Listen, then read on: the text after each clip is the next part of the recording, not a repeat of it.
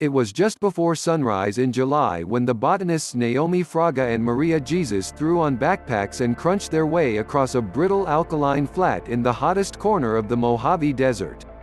Their mission? To rescue a tiny plant teetering on the brink of extinction.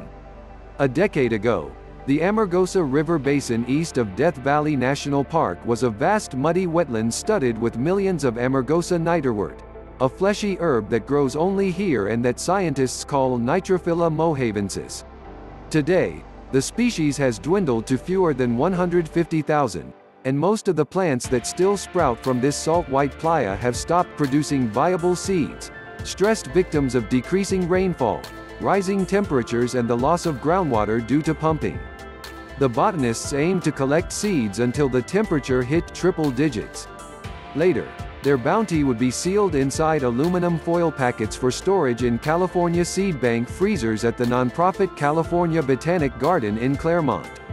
Oh, man, I've never seen it so dry here before, said Fraga, 42, Director of Conservation Programs at the Botanic Garden. Not all that long ago we would have been slipping and sliding around in mud, she said. Surrounding Fraga were shallow holes that had been dug by wildlife clawing desperately for food and water. We'll be lucky to find a single seed this morning, she said.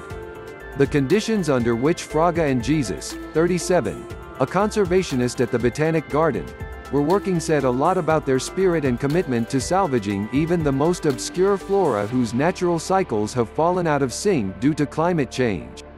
In four previous expeditions here, Fraga had collected a total 133 niterwort seeds. Eventually, we'd like to have 3,000 of their seeds in the bank, she said. That would ensure enough on hand for restoration efforts if the plant has gone extinct in the wild. The recent survey left her doubtful however. The speed at which this desert is drying up makes me want to cry, she said. Globally, more than a million plants and animals face extinction due to habitat loss, climate change and other factors related to human activity, and this alarming loss of biodiversity is only accelerating.